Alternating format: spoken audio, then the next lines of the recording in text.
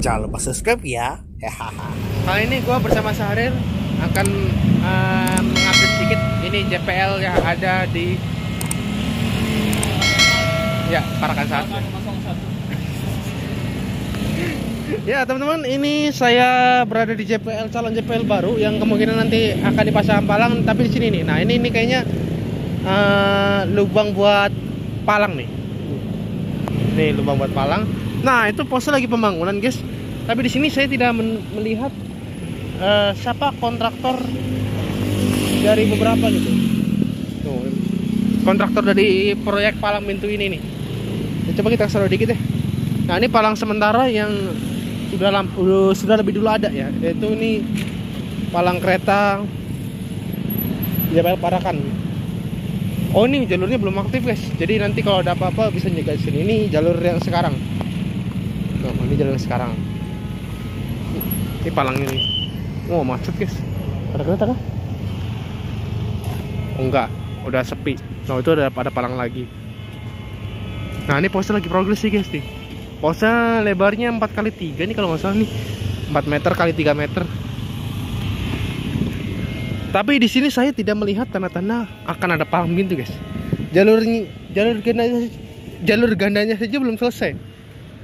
Tuh. Ini kelihatan nih kalau uh, jalur ini belum pernah dilintasi KA. Ya.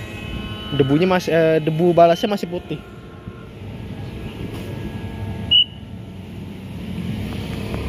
Oh, mereka harus bergantian, guys. Tadi saat saya baru sampai, ini saya kira pintu putar. Tahunya bukan. Kalian bisa nebak nanti posisi palangnya nanti ada di mana?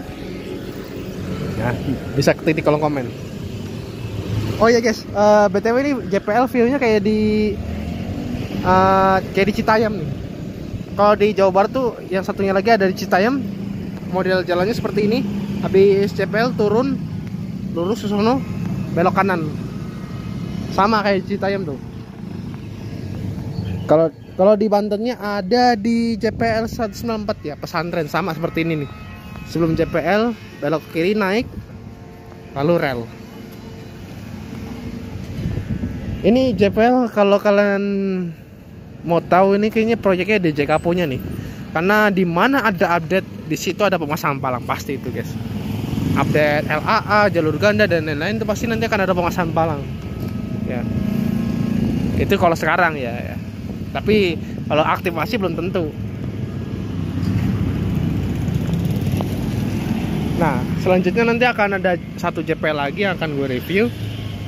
Nanti di yang satunya nggak tahu di mana ntar gue dikasih tahu Syahrir karena nanti ada satu JP lagi yang akan gue review.